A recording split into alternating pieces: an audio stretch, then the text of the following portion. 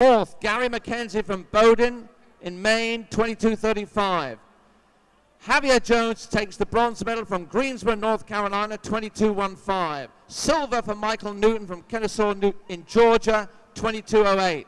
And your New Balance indoor champion at the boys 200 meters emerging elite from Ypsilanti in Michigan, 21.82, Andrew Hunt. Back upstairs to Ron Lopresti. Thank you, Ian. And this is the final section of the girls 4x4